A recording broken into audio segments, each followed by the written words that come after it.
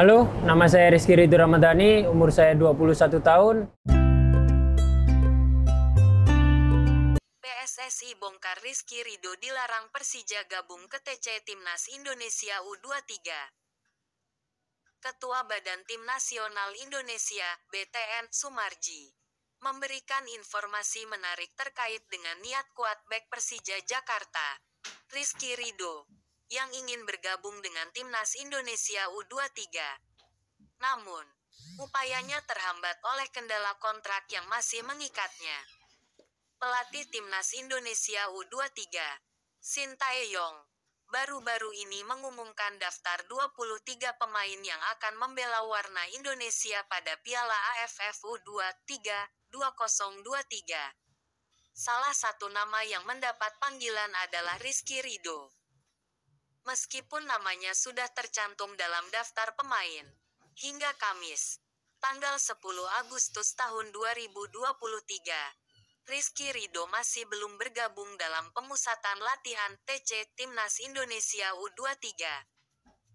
Sumarji, dalam wawancara dengan media, menyampaikan bahwa Rizky Ridho sangat berkeinginan untuk bergabung dengan Timnas. Tetapi ia dihadang oleh permasalahan kontrak yang masih mengikatnya. Kalau pemain itu no problem, pemainnya malah ingin datang. Mana ada pemain?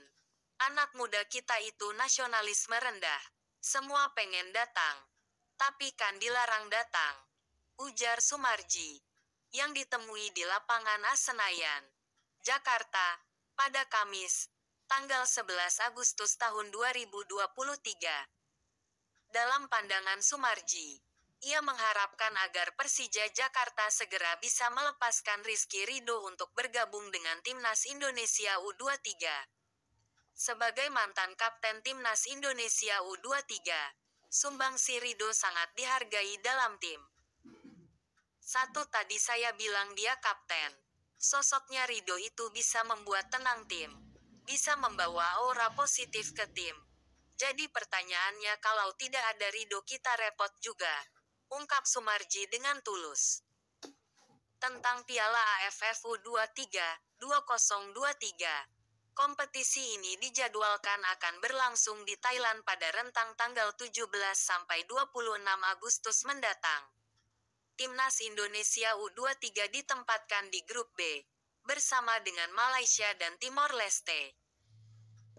Meskipun tidak mengumumkan target yang terlalu tinggi untuk kejuaraan ini, PSSI Persatuan Sepak Bola Seluruh Indonesia menjadikan Piala AFF U23 sebagai kesempatan yang berharga dalam membangun prestasi di tingkat regional.